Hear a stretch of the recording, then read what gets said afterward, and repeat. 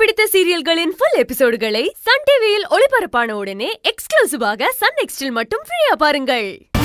இங்க பாரு செவந்தி தேவையில்லாம ஏன் மேல பழி போட்டுட்டு இருக்காத. அப்புறம் கடுப்பாயிருவன் பாத்துக்கோ. அனி என்னன்னு கொஞ்சம் தெளிவா புரியுற மாதிரி சொல்லுங்க. ரகு. நேத்து நம்ம சிந்துவை யாரோ ரெண்டு பேர் கடத்திட்டு போய் வண்டியில வச்சு போத ஊசியை போட்டு நடு ரோட்ல இறக்கி விட்டுட்டு போயிட்டாங்கடா.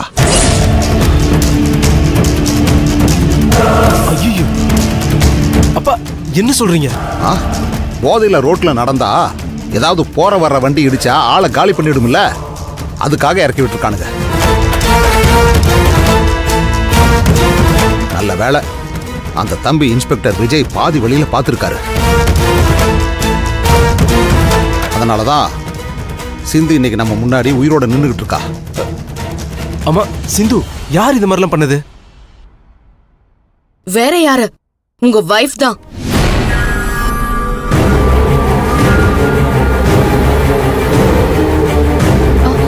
ஏங்க இது என்னங்க இது? அவளுக்கு ஏதாவது நடந்தா அதுக்கு நான் தான் பொறுப்பா? தேவையில்லாம இப்படி அபாண்டமா பழி சுமத்துறா? அவ சொல்றதை கேட்டுட்டு நீங்களும் அப்படியே சும்மா நிக்கிறீங்க? பூர்ணி உனக்கும் இதுக்கும் எந்த சம்மந்தமும் இல்லைல்ல? என்னங்க அவதான் ஏதோ சொல்றானா நீங்க பாட்டுக்கு ஏன் மேல சந்தேகப்படுறீங்க?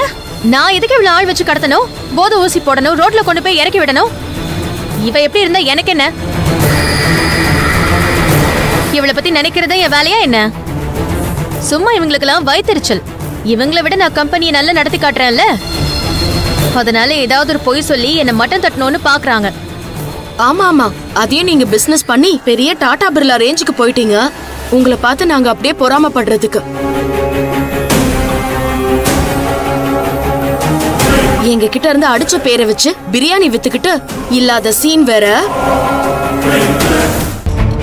விடு சிந்து இவகிட்ட போய் பேசிக்கிட்டு. இவ எனக்கு தான் உண்மையை ஒத்துட்டு இருந்திருக்கா கையோட ஆதாரத்தோட ஒரு நாள் மாட்டுவால அன்னைக்கு இவளை வச்சுக்கலாம். இத பாரு செவந்தி. உன் சைடுல ஒரு இன்ஸ்பெக்டர் இருக்காருங்கிற தெனாவட்டில எல்லாம் பேசாத. உண்மையா எவன் கடத்தினானோ அவனை போய் சொல்லு. சும்மா அதை விட்டுட்டு எல்லாத்துக்கும் என்னையே குறை சொல்லாத. கண்டிப்பா அவர் கண்டுபிடிக்க தான் போறாரு. அப்படியே சும்மா விட்டுடுவாருன்னு நினைச்சிட்டியா? எப்படி விடுவாரு அவரு? ரெண்டு பேரும் சேர்ந்து கடத்திருக்கானுங்க அப்புறம் ஊசி போட்டிருக்கானுங்க. ரோட்லயே இவளை இறக்கி விட்டுட்டு போயிருக்கானுங்க. போலீஸ் என்ன சும்மா விட்டுருமா?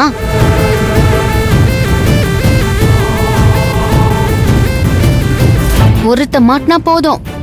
அந்த ஒருத்தனை தேடிக்கிட்டு தான் இருக்காங்க. அன்னைக்கு அவன் யாருன்னு கையை மட்டும் காட்டுட்டோம். அப்புறம் என்ன நடக்குதுன்னு நீயே பாப்ப. தைரியமா சொல்லுங்க செவந்தி. ஆதாரம் மட்டும் கிடைச்சதுன்னா இந்த தடவை ஆயுசுக்கும் ஜெயில போட்டுருவேன்னு சொல்லிருக்காரு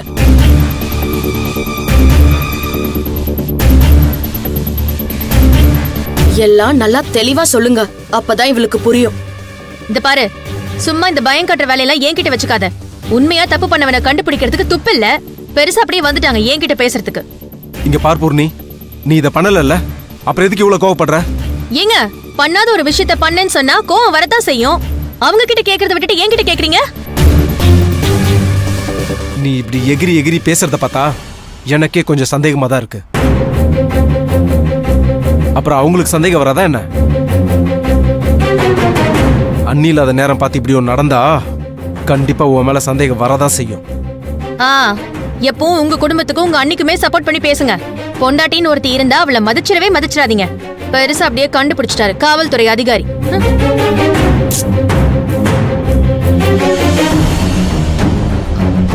மாமா அத்தை எனக்கும் இதுக்கும் எந்த சம்பந்தமும் கிடையாது. அவங்களுக்கு சந்தேகம் இருந்தா அதுக்கு நான் பொறுப்பு கிடையாது. இதுக்கப்புறமும் என் மேல நம்பிக்கை வரலன்னா சொல்லுங்க. சூடத்தை அணைச்சு சத்தியம் பண்ணணுமா சொல்லுங்க. அதையும் நான் பண்ணிட்டு போறேன். நீங்க வழக்கமா கேப்பீங்கல்ல எதுலயாவது சத்தியம் பண்ணனு அதுக்காக தான் நானும் கேக்குறேன். சொல்லுங்க யார் மேல சத்தியம் பண்ணணும்?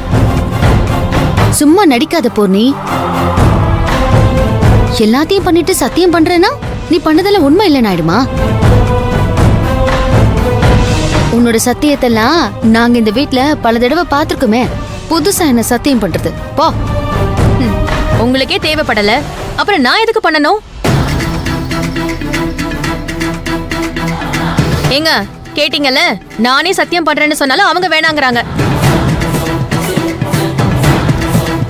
இதுல இருந்தே தெரிஞ்சுக்கோங்க யார் உண்மையை சொல்றாங்கன்னு.